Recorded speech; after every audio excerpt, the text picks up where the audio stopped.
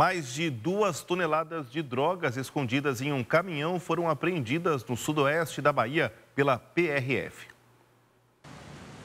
Foi em uma rodovia federal igual a essa onde a segunda maior apreensão de drogas feita pela PRF no estado aconteceu.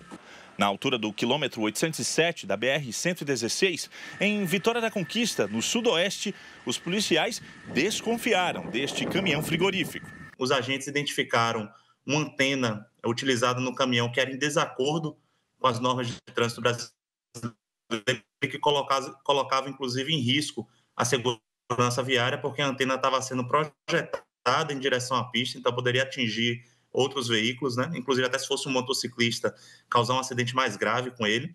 Então tudo partiu de uma fiscalização de trânsito. No fundo falso do veículo foram encontrados mais de 2 mil quilos de maconha prensada e embalada, que tinham como destino o estado da Paraíba.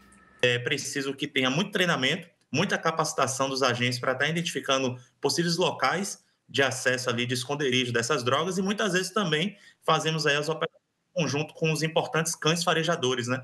que conseguem aí também auxiliar muitos policiais nessa, nesse trabalho de identificação de drogas. Com esta apreensão, a Polícia Rodoviária Federal na Bahia deu um prejuízo de quase 5 milhões de reais às organizações criminosas.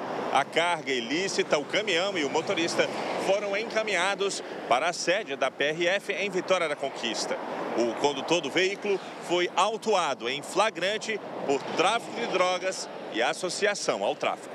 De acordo com a Polícia Rodoviária Federal na Bahia, as apreensões de drogas nas rodovias federais que cortam o estado são resultado da constante evolução do trabalho dos agentes da PRF nos últimos anos. A gente tem realmente um grande desafio em fazer o policiamento ostensivo, preventivo dessas rodovias, é, com foco ali de segurança viária, conforto e fluidez no trânsito, e como você está vendo também, nunca deixando de lado a questão de combate à criminalidade.